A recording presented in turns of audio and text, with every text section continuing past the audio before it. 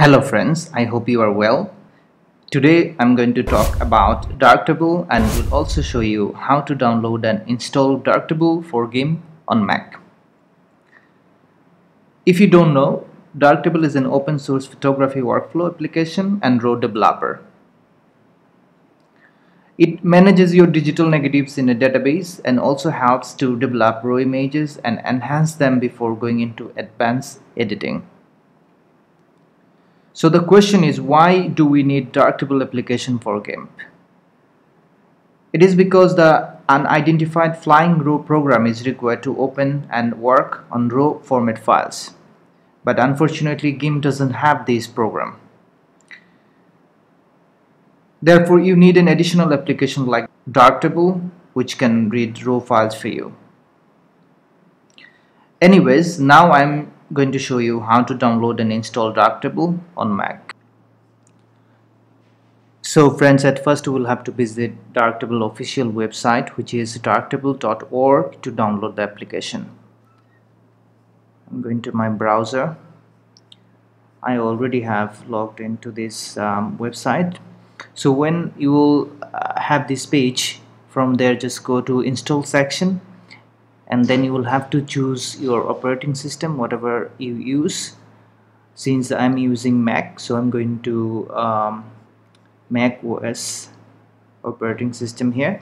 And then just click here in the download link. Depending on your internet speed and computer system it may take quite some time to download right download has been completed. So now we are going to open this file. Double click on this downloaded file. It may take some time to verify.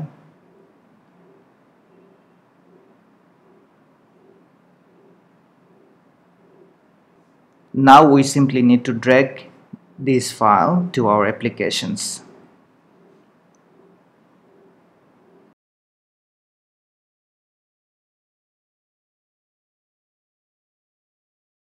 and then it will be installed automatically. I think the installation has been completed. Now we need to open GIMP and then we will try to import a raw file in GIMP.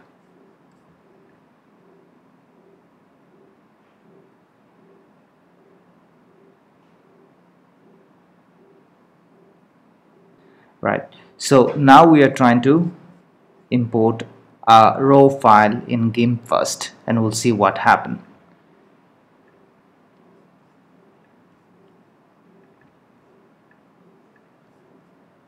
So when we will try to open a file in GIMP and if you have Darktable installed in your computer then the file will initially open in Darktable where you can uh, maintain it in database and also you can enhance them here. And when you will close this application then the image will automatically be opened in GIMP.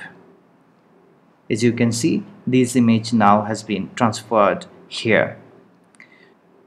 So friends this is how you simply can download and install Darktable for GIMP on your Mac computer. Thank you for watching. We'll see you next time Goodbye.